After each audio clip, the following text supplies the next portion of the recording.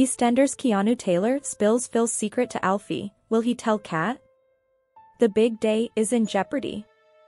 Keanu Taylor, Danny Walters, dropped a bombshell on Alfie Moon, Shane Richie, in tonight's EastEnders, September 19th, as he revealed a secret about Phil Mitchell, Steve McFadden. Phil had a one-night stand with Emma Harding, Patsy Kensit, after a row with fiancée Kat Slater, Jessie Wallace. After Phil thwarted Emma's blackmail attempts, she told Keanu about the fling, and Keanu wasted no time in threatening to spill all to Kat unless Phil helped him gain access to daughter Peggy. Tonight, having been told by a fibbing Phil that Kat already knew everything, a suspicious Keanu attended Kat's hen party at the Vic. He sent Phil a photo of a carefree Kat, realizing that she knew nothing about Phil's cheating, Oblivious Kat was annoyed with Alfie, who claimed he was going on holiday during an important occasion for their sons Bert and Ernie.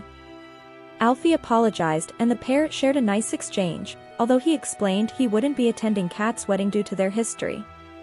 While it's true that Alfie still adores Kat, he has other worries, as viewers know that he is hiding a recent diagnosis of prostate cancer.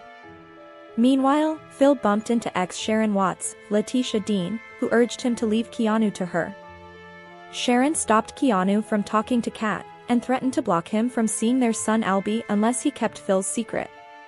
Keanu relented, drinking steadily at the bar and smashing glasses, until Alfie took pity on him. Without thinking, a bitter Keanu ended up telling Alfie that Phil had slept with Lola's Danielle Harold, mum a week before his wedding. Will Alfie tell Kat?